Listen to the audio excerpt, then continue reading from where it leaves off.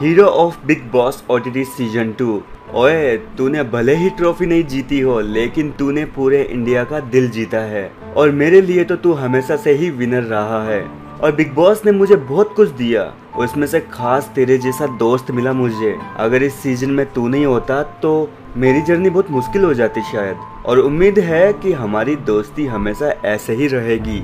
जी हाँ दोस्तों, ये इमोशनल पोस्ट जो है, ये किसी और ने नहीं, बल्कि फुकरा इंसान की सबसे प्यारी दोस्त, चुलबुली दोस्त मनीषा रानी ने की है। जी हाँ दोस्तों, हाल ही में कुछ घंटों पहले ही मनीषा रानी ने अपने इंस्टाग्राम अकाउंट पर ये कैप्शन लिखते हुए एक वीडियो शेयर किया है और इस वीडियो को देखकर फैंस की आँखों से आँसू छलक है दरअसल दोस्तों हॉस्पिटल का सीन है और यहाँ पर फुकरा इंसान अपने बेड पर लेटे हुए है और पूरी फैमिली भी मौजूद रहती है। तभी यहाँ पर हॉस्पिटल का दरवाज़ा खुलता है और यहाँ पर एंट्री होती है मनीषा रानी और उनके पिताजी की। जी हाँ दोस्तों, जैसे ही गेट खुलता है तो यहाँ पर फुकरा इंसान उनकी आँखें फटी की फटी रह जाती है। जी हाँ दोस्तों, वो एक तो बीमारी की वजह से परेशान थे। उनके चेहरे पर जो मुस्कान आती है, वो देखकर फैंस की आँखें भीग गई।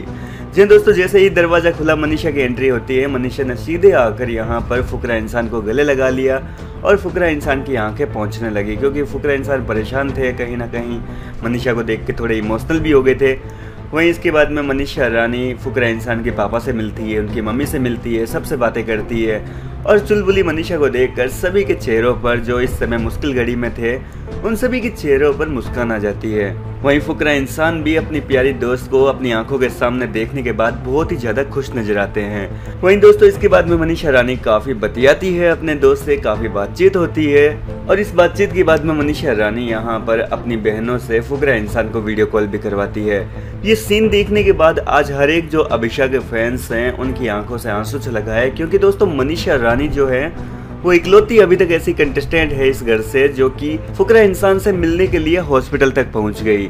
जी हाँ दोस्तों, इन दोनों की दोस्ती को किसी की नज़र ना लगे, ऐसी यहाँ सोशल मीडिया पर प्रार्थना की जा रही है। फैंस जो है वो इस स्टोरी को शेयर करते हुए एक के बाद एक बहुत ही अच्छे अच्छे कैप्शंस लिख रहे हैं, जिनको पढ़ने में काफ़ी मज़ा आ रहा है और फैंस भी काफ़ी इमोशनल है।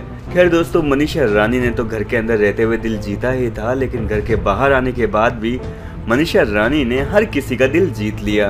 और दोस्तों सोशल मीडिया पर जिस तरीके से मनीषा रानी ने पोस्ट लिखी, उसे देखने के बाद तो उनके फॉलोअर्स की संख्या भी दुगनी रफ्तार से बढ़ने लगी।